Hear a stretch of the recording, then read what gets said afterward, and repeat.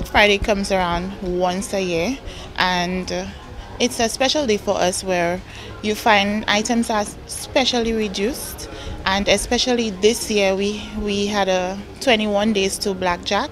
um, where customers got to dip for a chance to get 21 cards 21 points on their cards. That actually gives them an opportunity to get a further 21% off an item that's already heavily discounted for Black Friday. So in this tough economic time, you can appreciate the fact that Courts is actually helping customers to get an item like probably next to nothing or close to nothing for the Christmas season.